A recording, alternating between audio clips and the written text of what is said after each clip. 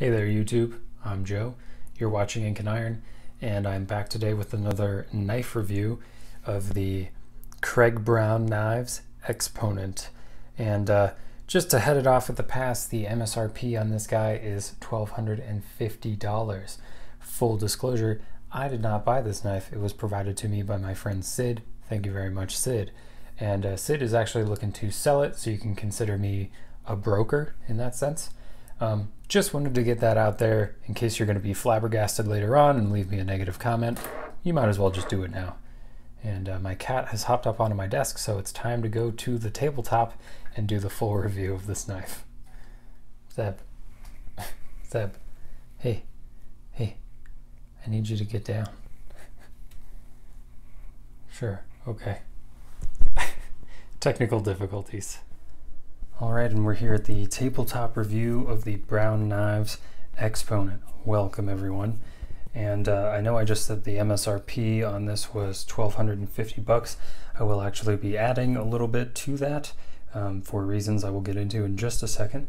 As you can see, the knife comes from Brown Knives in this Pelican case, or uh, it's kind of like a Pelican case. I don't know if it's Pelican brand.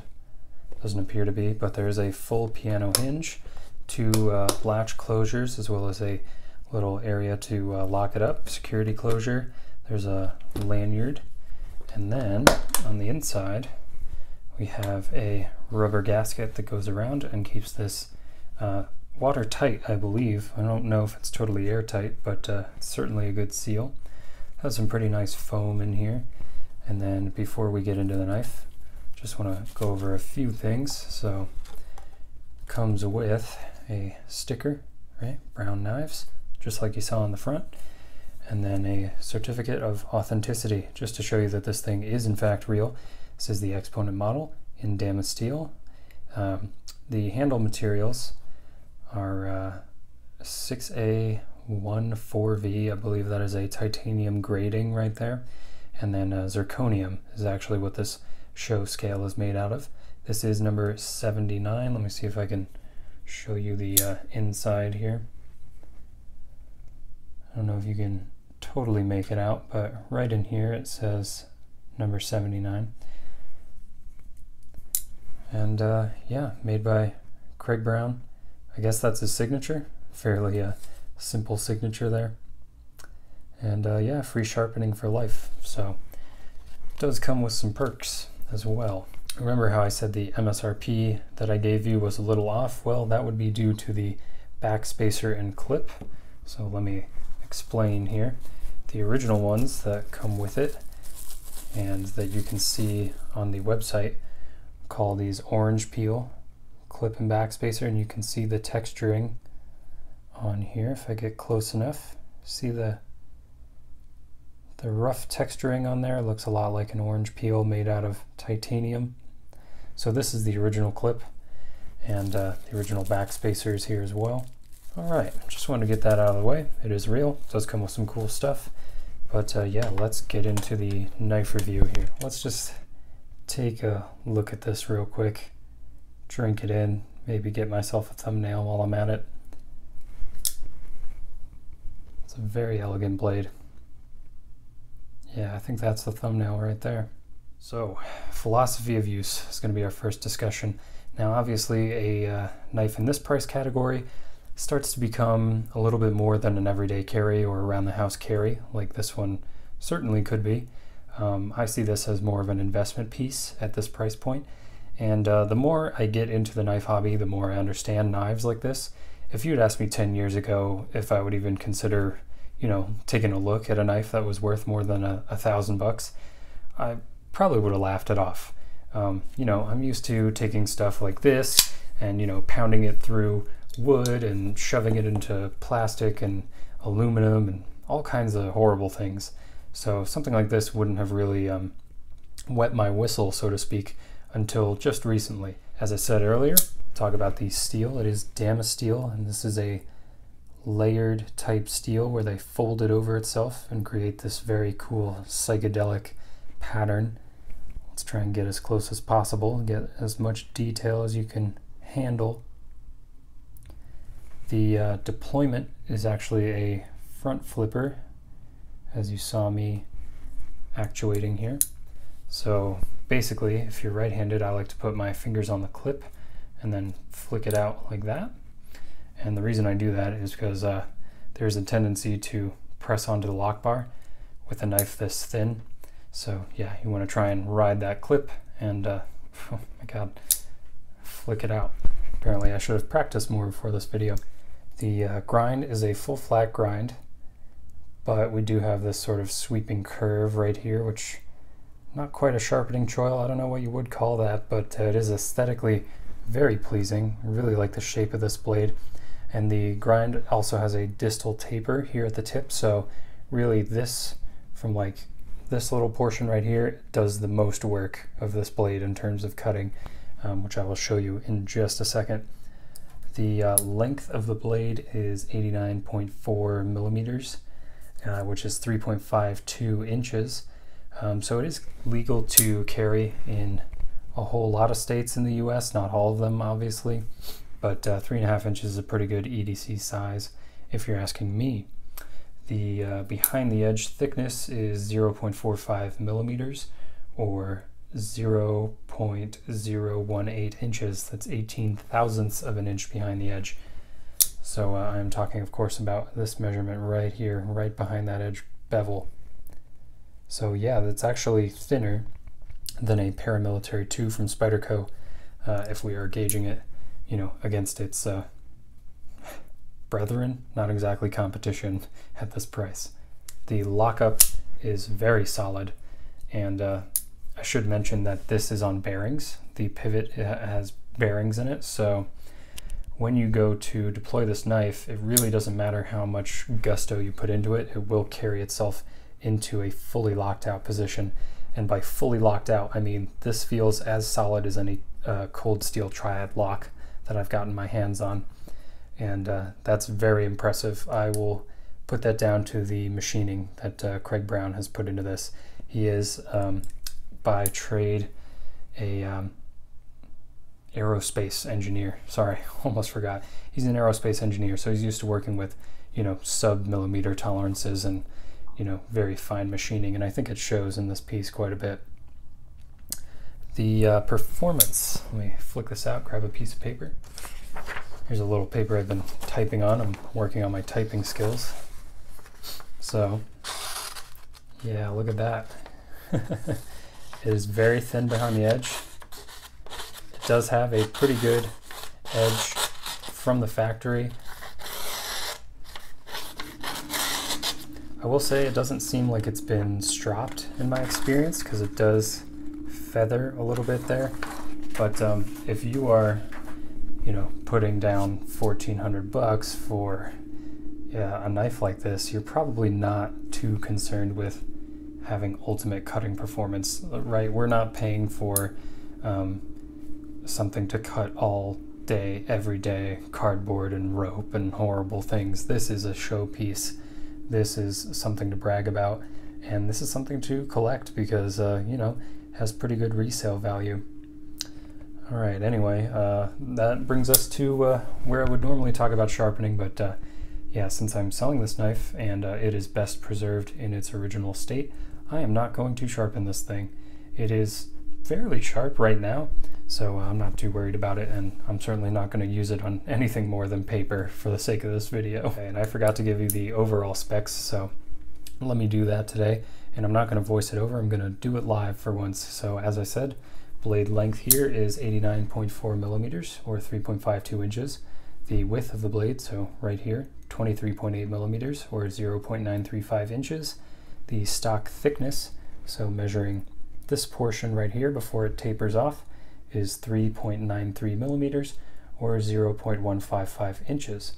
Behind the edge thickness, as I said earlier, 0.45 millimeters or 18 thousandths of an inch. The handle length give this a close. Handle length, so right here, 105.8 millimeters or 4.17 inches. Handle thickness, so this guy right here, 12.2 millimeters or 0.48 inches, almost a half inch. The steel, as I said twice now, is Damasteel, and uh, the total weight here is 96.6 grams or 3.41 ounces, which is pretty reasonable given that it is a three and a half inch blade. Okay, now moving into the handles, since we have talked plenty about the blade. Actually, one more, two more things. The jimping up here is very light. It is not Spyderco jimping, it's not anybody else's jimping. It just is a little nice touch for a little bit of added traction.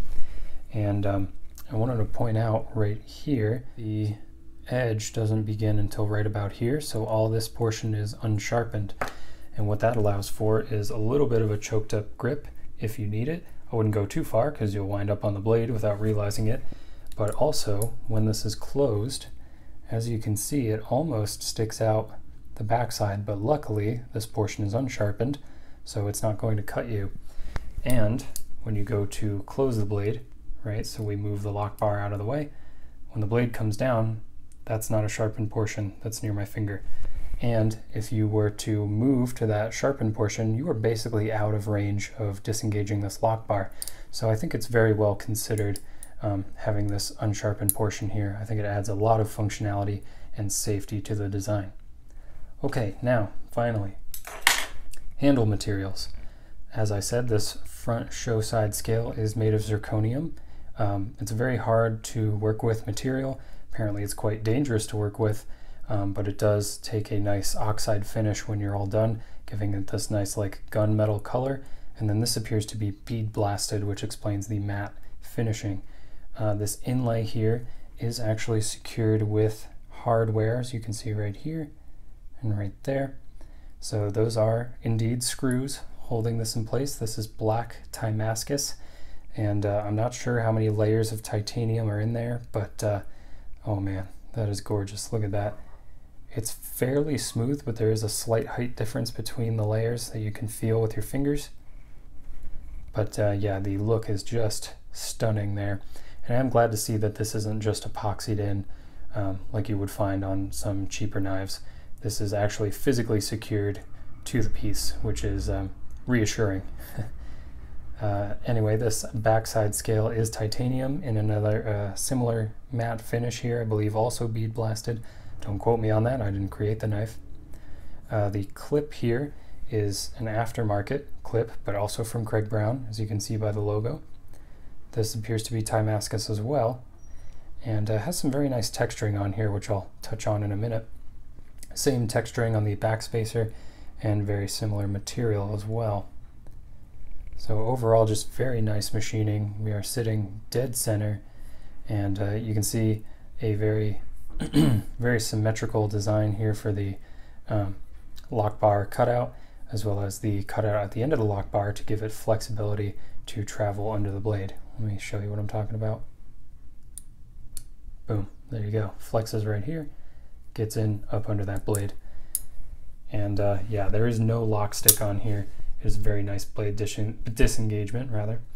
And uh, man, I don't know if you can tell how smooth this is on camera. Hopefully you can. Those bearings are just absolute buttery smooth. Really great action. Um, we do have a single-sided pivot. However, you can see the stainless steel on this side has two flats, which would keep it in place if you ever had to adjust the pivot. Um, I'm not going to do it, and I probably wouldn't suggest you do it yourself either. Maybe send it back to uh, Craig Brown if you need that kind of thing. Um, I checked the sizing on this hardware just loosely, and uh, it does appear to be uh, either T8, it, it might be a little bit bigger at like a T9, so there is some durability here in the hardware, which is nice to see. Even uh, you know manufacturers, popular ones like Spyderco, use a T6. So it's good to see some uh, long-lasting and trustworthy hardware on here. The uh, traction plan is pretty light. Like I said, this is a very light duty knife, everyday carry around the house kind of thing, dedicated letter opener. Um, the jimping adds a little bit and it is nice that you can kind of slip up a little onto the blade without getting cut. And um, honestly, the clip adds a little bit of traction as well. I think it's more than enough for um, everyday tasks, especially the ones that uh, a blade of this caliber is going to be doing. And to speak a little bit more about how this is in the hand, as we can see here, and I'm going to bring in a, uh, here's a Para 3 for comparison. do you see how much more square the uh, exponent is than the Para 3? The Para 3 in the hand feels a little bit like you're gripping um, like a ruler, like a yardstick, you know, a meter stick, something like that. This is a little bit more um, square, a little bit more even in terms of the ratio between thickness and width. And uh, I think that's appropriate. It gives it more of the um, Opinel, sort of a rounded feeling in the hand.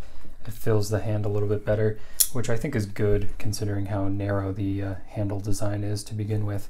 I think that was a, an appropriate choice to make it rather sort of thick in this dimension. Makes it a lot more comfortable. The uh, blade to handle ratio is actually pretty good. We are almost one to one. Um, I always prefer a design that makes the most of the blade length without giving you a whole bunch of handle to deal with later on. Okay, now finally let's talk about this clip a little bit.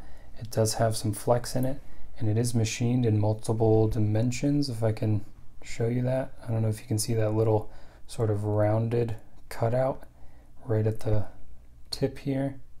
Oh, there you go, a little bit more visible. So there's quite a considerable amount of machining that goes into this, and uh, the jimping is actually very functional. I will show a quick clip of this in my pocket. Um, just note, I don't carry this around in my pocket all the time. Um, again, not my knife, and if it was, I certainly wouldn't be carrying it in my pocket because it came with a Pelican case. Yeah, it's pretty easy to go in and out of the pocket. That smooth titanium makes it rather simple to hook over the pants. And then uh, this texturing on this clip really helps to draw it out very securely. Yeah, I've got no worries about that coming in or falling out of my pocket. Okay, now that you've seen it in my pocket, let's go over uh, how ambidextrous this knife is. Um, it is just as easy, if not easier, to engage this knife with the left hand and um, I will explain why. Uh, because we talked about the lock bar earlier and how, as a right-hander, you will probably wrap around and press onto the lock bar when you're first trying to get the blade open, and that's not the way to do it. That would be why I rest on the clip back here and flick it out that way.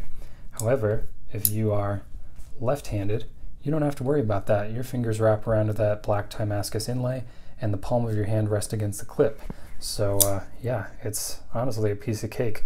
Now, unfortunately, you can't switch the clip, but uh, I will forgive that on a knife like this because if we were to add, you know, the ability to swap the clip, you'd have some ugly little cutout right here that you'd have to look at right next to your beautiful uh, Timascus inlay. So I can totally understand why that's not a thing. Now we come to our price point discussion and I will roll in some size comparisons so you can gauge how big this knife is from stuff in your own collection.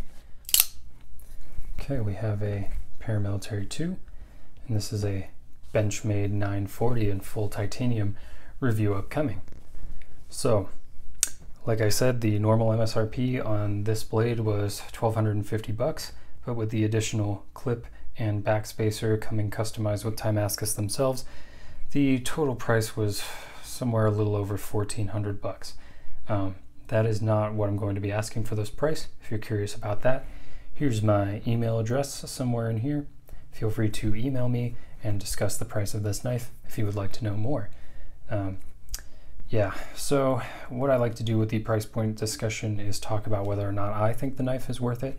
And as I said earlier, I am beginning to see knives more as investments rather than simply just tools. And I think it's because I'm learning more and more about the industry and what goes into the manufacturing of these materials that it starts to make more and more sense why these things hold value over time. Right? You can't just have a Damascus blade. And uh, let me show you an example of a very cheap Damascus blade to illustrate my point. Here we have a very rugged Damascus blade from uh, Old Forge. This is their Barlow knife. And uh, you can see it is Damascus. It is a lower layer count Damascus, so we get some more exaggerated lines, but do you see this right here? This is a almost cold shut between two layers of steel. So you run the risk when you're folding steel of, you know, having a gap, having the two steels not weld together properly in the forge. And uh, so you end up with something like this, which can compromise the integrity of the blade, could be a safety issue, or it could just be an aesthetic flaw. But uh, as you can tell, with the Craig Brown Exponent.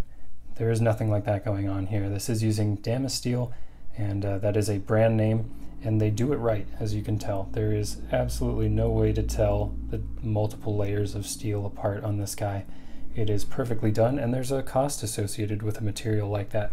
And likewise, there's a cost associated with getting multiple layers of titanium to weld together properly and then to, you know, color it however they did it. I'm not sure if they used um, electricity, you know, an anodization like that, or if they hit it with flames. I have no clue, but my God, it's gorgeous. And then to have this precision machining go on top of it, there is quite a bit of workmanship that goes into a piece like this, and I'm appreciating that more and more um, with every day that I'm in the knife hobby. And uh, yeah, again, thanks to Sid for sending this to me to uh, give me a look at it. Here's an Opinel number 8 and a Para 3. Okay, so is it worth it? Well, kind of depends on who you are. If you're like me multiple years ago, you know, taking your uh, reasonably priced knife and, you know, slam a jamming it into stuff and cutting with it every day and, you know, you need something in the warehouse to cut tie down straps, probably don't buy this. But if you are looking for uh, a basically heirloom quality piece that could be handed down or you know you need it in the future to bail yourself out of a financial situation this is honestly a pretty good investment um, that being said and since i'm selling it i do have a confession to make so let me clear some stuff out of the way okay i know it's kind of hard to make out here but you can see that little two part kind of scratch or dent and that zirconium right there. I believe that was my fault. That is the only blemish on this blade. I have checked over it obsessively, but uh, I'm pretty sure it was my fault because the first thing I did with this was drop it onto my laptop, and I have since learned about zirconium that it's quite soft. It's nowhere near the hard hardness of something like titanium or steel. So uh, yeah, that, that was likely my doing. So I just want to apologize to uh, Sid because he sent me this to uh, sell for him and then apologies to potential buyers because, uh, yeah, I really I messed up on the most expensive knife I've ever handled. Thanks for uh, joining me there on my apology tour. So, yeah, would I uh, buy a knife like this? Not yet. I don't think I'm in uh, the financial standing to do that kind of thing yet, but uh, I do get it now. Now that I've handled this thing and seen the sort of workmanship that it comes with and the kind of people who are producing this level of pocket knife, it really does impress me and it really does start to uh, coalesce a lot of things that I know about knife manufacturing and yeah, they uh, just suddenly make more sense as investment pieces. So thank you, Sid, for uh, sending this my way. Hope to get it sold for you soon. Again, I'll put my contact information below if you're interested in purchasing this knife.